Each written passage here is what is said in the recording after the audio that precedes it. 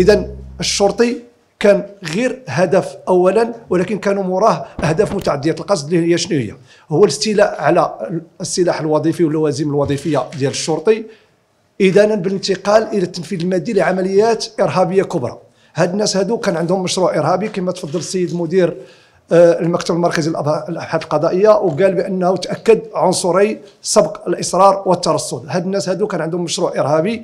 الأولي وهو الانتقال إلى منطقة الساحل ولكن لما تعذر عليهم قرروا أنهم يديروا نوع آه، ضربات إرهابية محلية. اذا الشرطي كان هدف أول باش يستولوا على الأسلحة ديالو باش يقوموا بارتكاب عمليات إرهابية اللي كانت كتستهدف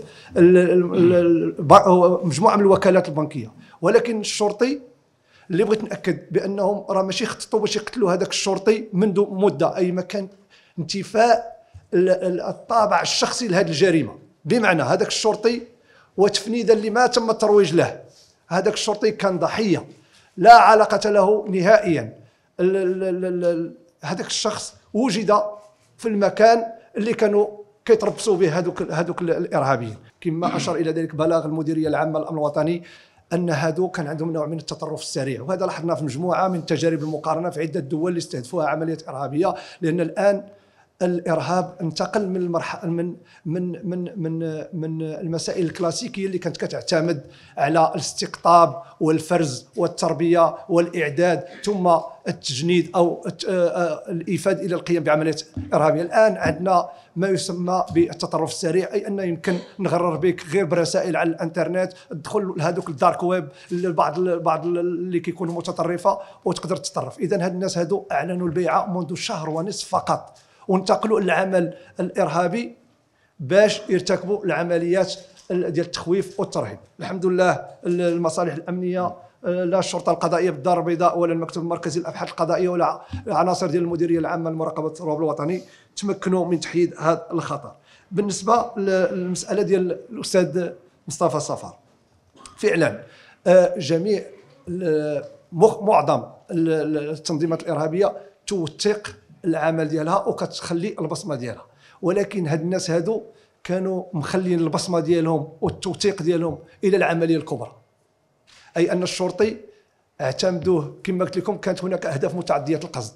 وهذه الأهداف متعديه القصد هو الاستيلاء السلاح ثم القيام بعمليات آه، آه، كتستهدف الابناق باش يحصلوا على العائدات الإجرامية. وعاد غيديروا عمليات إجرامية نوع إرهابية نوعية اللي كان محددين لها مجموعة من الأهداف. تحديد مع الخليه هذه تمت الحاله ديالها في اطار من التنسيق مع النيابتين مع نيابه محكمة الاستئناف ديال الفريضه ومع نحن لما لما برز العنصر ديال التطرف وديال تتعلق الامر الجريمه الارهابيه تمت الإحالة تم الإيقاف في نفس اليوم وتمت الإحالة في نفس اليوم.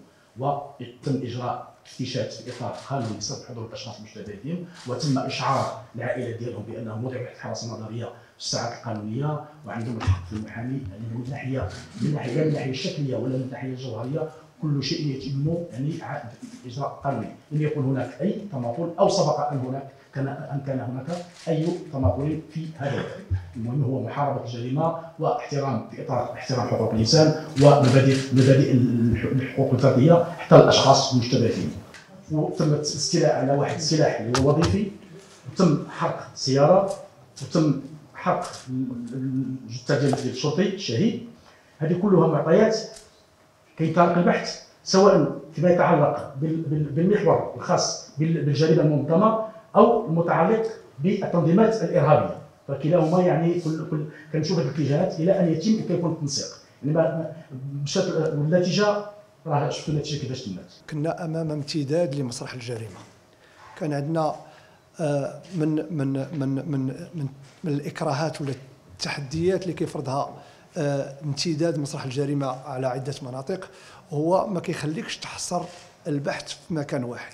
وهنا غنفتح واحد البارونتيز بأن نقول بأن غير المصلحة الولائية للشرطة القضائية بمدينه الدار البيضاء سخرات 190 محقق غير المصلحة الولائية للشرطة القضائية.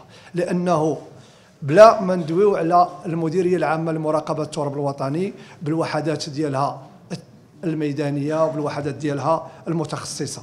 اذا كان عندنا مسرح جريمة اللي هو مكان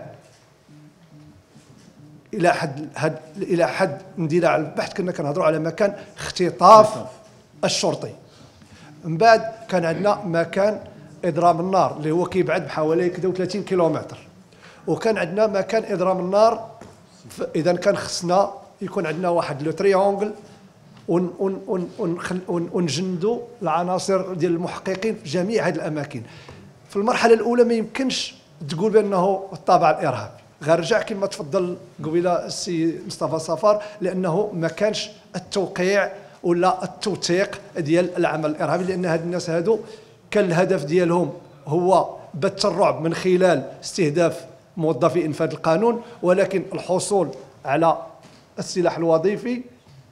وخصكم تعرفوا بأن طريقة إخفاء غير الأصفاد المهنية راه ما يمكنش تتصور لكم على على على راه هاد الناس هادو راه الأصفاد المهنية كيفاش تخبعوها؟ خبعوها وسط هادوك لي لام ديال باش كيخدموا. دي لام باش واخا واخا يمشي به للخدمه واخا يمشي به لأي مكان هاد الناس هادو ما تكتشفش. اذا هاد الناس هادو كانوا كيوجدوا لعمل إرهابي آخر وشيك. آه للأسف آه الروح ديال هاد هاد الشرطي كان هو الضحية ولكن الحمد لله أننا استطعنا أننا أن نقوم بتحييد الخطر قبل ارتكاب جرائم أخرى. لا تنسى الاشتراك في القناة وتفعيل زر الجرس ليصلك جديد الفيديوهات من هيسبريس.